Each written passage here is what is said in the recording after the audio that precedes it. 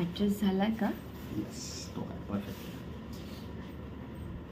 नमस्कार मंडळी मी अतरंगी अंकिता विथ केजो आणि स्वागत आहे तुमचं आमच्या आजच्या या ब्लॉगमध्ये आम्ही घेतला आहे नवीन गोप्रो हिरो टेन आणि आमचा फर्स्ट एक्सपिरियन्स असणार आहे गोप्रो हिरो टेन सोबत. जे पण ब्लॉगर्स जे पण व्ह्युअर्स आमचा व्हिडिओ बघतात त्या सर्वांना माहितीच असेल की आम्ही आतापर्यंत शाओमी ई वापरत होतो.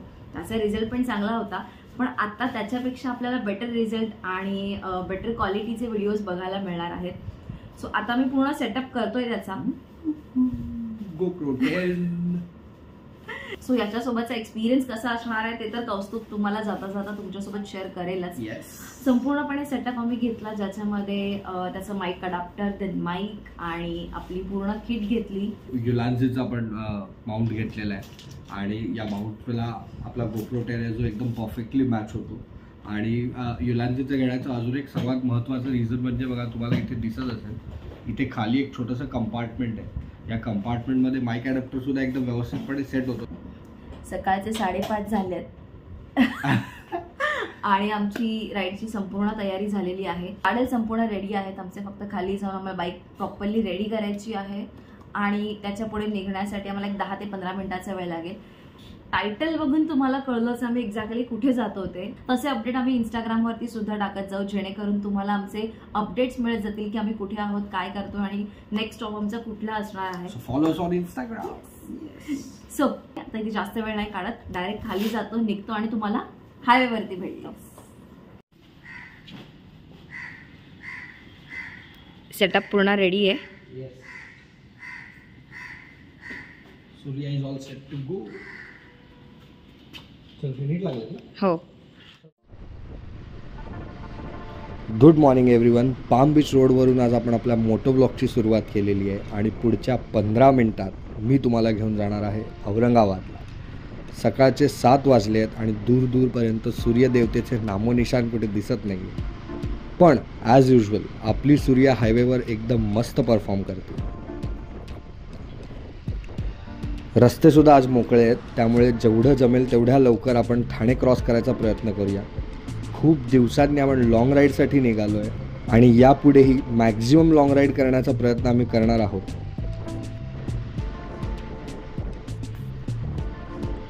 मुंबई नाशिक हायवेवर आत्ता आपण आहोत आणि होपफुली आपल्याला आज इथे जास्त ट्रॅफिक लागणार नाही आहे मुंबई जळगाव राईड करत असताना आपण या रस्त्यावरून ट्रॅव्हल केलं होतं. त्यानंतर आत्ता डायरेक्ट एक वर्षांनंतर आपण या रोडवर आलो.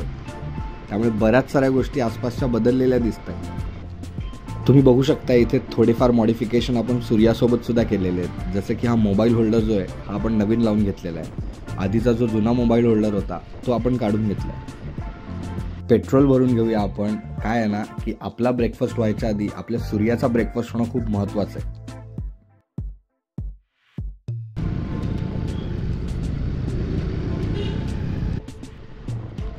फक्त चारशे आठ रुपयाचं पेट्रोल गेलं आहे म्हणजे याआधीसुद्धा सूर्यात थोडंफार पेट्रोल असणार आहे. आणि इथून नाशिक फक्त एकशे बावीस किलोमीटर उरलं आहे तर आय गेस आपण ब्रेकफास्टचा हॉल्ट नाशिकमध्ये जाऊनच करूया. तुम्हाला दिसतच असेल बरेच सारे साई भक्त चालत शिर्डीला चालले. आणि it's been almost two years आम्हीसुद्धा शिर्डीला गेलो नाही त्यामुळे आत्ताच आम्ही म्हणजे मी आणि अंकी डिसाईड करत होतो की ॲटलिस्ट एक राईड तरी आपण शिर्डीला करूया वन डे हॉल्ट करूया पण बाबांचं दर्शन घेऊ असंच एकदा राईड करत पंढरपूरला जाण्याची सुद्धा आमची खूप इच्छा आहे. पण मला असं वाटतं की जोपर्यंत पांडुरंगाचं बोलवणं येत नाही तोपर्यंत तिथपर्यंत पोहोचणं थोडंसं अशक्यच. कारण आम्ही एवढ्या दिवसापासून पंढरपूरचा प्लॅन करतोय पण तो प्लॅन एक्झिक्यूटच होत नाही आहे ओके आणि एक क्विक रिव्ह्यू द्यायचा झाला गोप्रो हिरो टेनचा तर आत्तापर्यंत शूट करायला खूप मजा येते. याच्यात शूटिंग मोडसुद्धा खूप जास्त आहे. आणि जर तुम्हाला माहिती असेल तर एट आणि नाईनपेक्षा याची स्टेबिलिटी खूप जबरदस्त आहे. याच्यात हायपर स्मूथ नावाचा एक मोड आहे. That is what we are using now त्यामुळे शूटिंग क्वालिटी तरी आत्तापर्यंत एकदम टॉप नॉच आहे. पण साऊंड क्वालिटी कशी आहे ती आम्हालासुद्धा चेक करायची आहे. कारण की आम्ही पूर्ण सेटअप घेतला आणि डायरेक्ट राईडला निघालो आहे त्यामुळे याच्या आधी ॲज काही टेस्टिंग वगैरे केलेली नाही आहे वो वो वो वो वो कसारा घाटात आपल्याला इथपासून ट्रॅफिक लागलेली आहे. आणि थोडं सांभाळून आपल्याला कॉर्नरिंग करायला लागणार आहे. तसं कॉर्नरिंग करत करत आपण हळूहळू पुढे जाऊ शकतो कारण आपण बाईकवर आहोत. पण थोडं सांभाळून कारण की आपल्याला लक्षात ठेवायचं आहे आपल्या मागे सॅडल्स आहेत.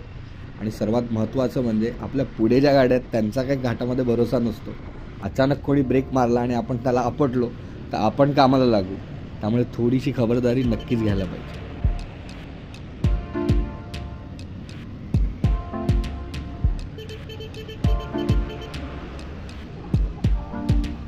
कसारा घाट आता आपण क्रॉस केलेला आहे आणि आपण पोचत आहोत इगतपुरीजवळ.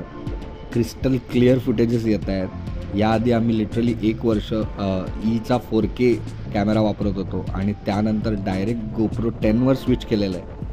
आणि जबरदस्त अशी मजा येते आम्हाला आणि एक चांगलं वाटतं आहे की यानंतर तुम्हालासुद्धा आमच्या थ्रू भरपूर सारे चांगले चांगले व्हिडिओ बघायला मिळतात इगतपुरीचा टोल क्रॉस करून आम्ही एका रेस्टॉरंटमध्ये थांबलोय. छोटंसं एक हॉटेल आहे जिथे आम्ही चहा पितोय. जिथे आम्ही चहा पितोय. आणि आम्ही घरातून मेथीचे ठेपले घेऊन आलो होतो ते खातोय सध्या तरी. ॲक्च्युली आम्ही दही आणि पिचकू आणायला विसरलोय. सो पिचकू म्हणजे? टोमॅटो सॉस आणायला विसरलोय. केचप आणायला विसरलोय. आणि याच्या भाषेत सांगायचं तर सॉस आणायला विसरलोय. टोमॅटो सॉस बद्दलची स्टोरी होती ती. आजच्या आम्ही थोडे दिवस आधीच बोलत होतो की लहान असताना आणखी त्याचा हातात घेऊन मी नाही मी नाही मी नाही. हा. फिरायचा हातावरती घेऊन. आणि माझं नाव चिटकवतो आता. सॉरी बघितलं दुसऱ्याला बोललं ना की असं होतं. चहा सांडतो. सो आता आम्ही चहा पितोय. दोन कप चहा पिऊन झाली आहे दोन कप अजून घेतलेली आहे चिपला पण आणलेत घरातून ते खाणार. आहे आणि चिप्स घेतले चिप्स खाणार. आहे आणि मग नंतर सगळा पसारा अशा पद्धतीने बाईकवर बांधून again we are going back Nashik सिटीमध्ये आता आपण पोचलो आहोत. आणि हा जो तुम्हाला वरती दिसतोय ना इथे दिस इज अ एक्सप्रेस वे तर याच्यावर फक्त फोर व्हीलरच अलाउड आहेत. बाईक इथे अलाउड नाही आहेत आणि तुम्हीसुद्धा जर या रस्त्याने ट्रॅव्हल करताय ना तर चुकून पण तो ब्रिज पकडू नका. कारण मॅक्झिमम टाईम याच्यावर पोलीस असतातच. आणि जर तुम्हाला पकडलं तर एक भला मोठा फाईन तुम्हाला लागू शकतो. हे सगळं मी याच्यासाठी सांगतो आहे कारण जर तुम्हाला माहिती असेल याआधी आम्ही हा ब्रिज चुकून पकडला होता. ॲक्च्युली आम्हाला नव्हतं माहिती की हा एक्सप्रेस वे आहे. पण लकीली पोलीसवाले काका पण खूप चांगले होते. त्यांनी आम्हाला वॉर्निंग देऊन सोडून दिलं.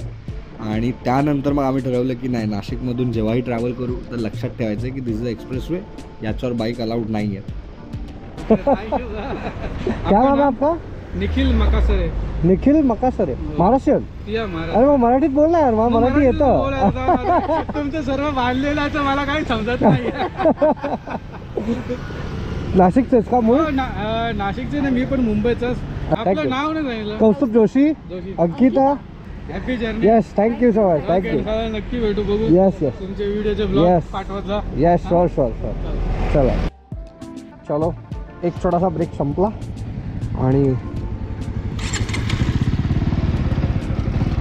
now we are going ahead चलो.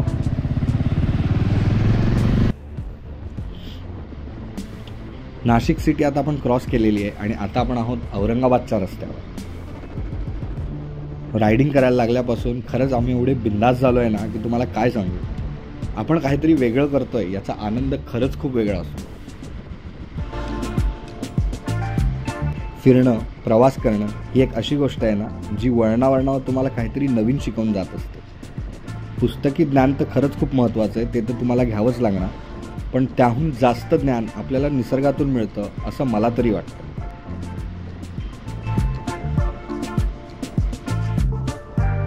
आता इथून शाळेत जाताना दिसत आहेत सायकलहून शाळेत जाण्याची वेळ माझ्यावर कधी आलीच नाही. कारण की ॲक्च्युली मी जिथे राहायचो तिथून माझी स्कूल हार्डली दोन मिनटावर होती. त्यामुळे स्कूलची सेकंड बेल झाली की मी घरातनं पळत सुटायचो आणि शाळेत पोचायचो. अंकी आणि मी एकाच स्कूलमध्ये होतो. फक्त आमच्या ब्रांचेस वेगवेगळ्या होत्या. कारण अंकी दादर आय एसमध्ये होती आणि मी चारकोप कांदिवलीच्या आय एसमध्ये होतो. चलो भाई जल्दी जल्दी सुबह पनवेल पहुंचना है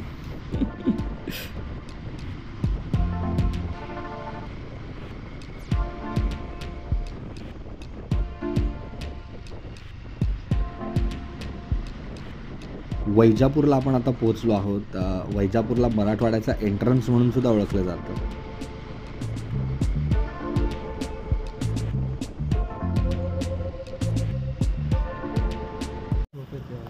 कंटाळा का? एक छोटासा हॉल्ट घेतला आणि आम्ही जवळजवळ येवल्याच्या आसपास पोहोचलोय. इथून एक चार ते पाच किलोमीटरवरती येवला आहे.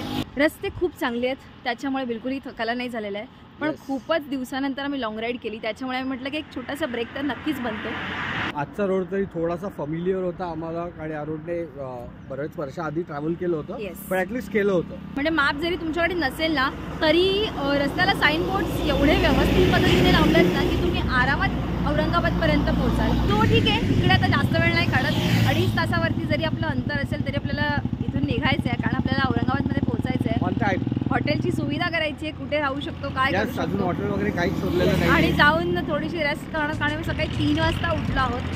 सो जास्त वेळ नाही काढत तिथून निघतो आणि परत तुम्हाला हायवेवरती भेटतो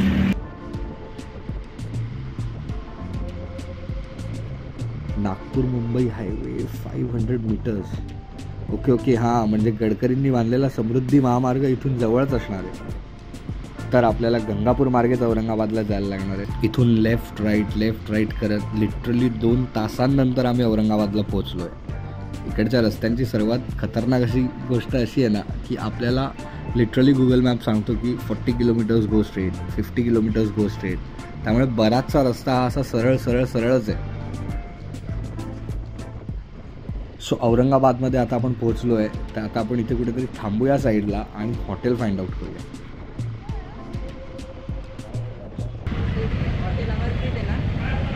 पुढचा जो दूध डेअरी चौक म्हणून आहे हो, हो. ना, बस त्याच्या अलीकडे. चालेल. ते अ, महर्षी दयानंद चौक म्हणून आहे. हा, त्याला हा, दूध हा. डेअरी पण म्हणतात. चालेल चालेल चालेल. चल thank you Two hours later. Finally औरंगाबादमध्ये पोहोचलो आणि हॉटेल फाइंड आउट करण्यामध्ये आमचा बराच वेळ गेला. ऑलमोस्ट एक तास आम्ही फिरवतो फिरत होतो. म्हणजे पूर्ण जर्नी करून जेवढं नाही थकलोय ना तेवढं आम्ही हॉटेल शोधताना थकलोय. सो फायनली आम्ही हॉटेलमध्ये पोहोचलो फ्रेश झालो आणि नंतर ठरवलं की तुमच्याशी बोलतो. आता आम्ही सध्या तरी थांबलोय हॉटेल अथर्वमध्ये. त्याचे संपूर्ण डिटेल्स मी तुमच्यासोबत खाली डिस्क्रिप्शनमध्ये शेअर करेनच. पण आल्या आल्या आम्ही मस्तपैकी गरम पाण्याने आंघोळ केलेली आहे आणि इथे ट्रीटमेंटसुद्धा मला खूप चांगली मिळालेली आहे. सो मी खरंच रिकमेंड करेन की जेव्हा पण तुम्ही औरंगाबादमध्ये येताय आणि हॉल्ट करायचा विचार करताय तर नक्कीच हॉटेल अथर्वमध्ये तुम्ही थांबा. You can consider yes actually any time आणि थोड्याच वेळात मी तुम्हाला माझा रूम टूर दाखवते की कशा पद्धतीची माझी रूम आहे. मेस झाली आहे थोडीशी त्याला अवॉइड करा कारण आपण रायडर्स आहोत. भरपूर सारं सामान घेऊन आपण फिरत असतो. सो ती एक गोष्ट अवॉइड करा.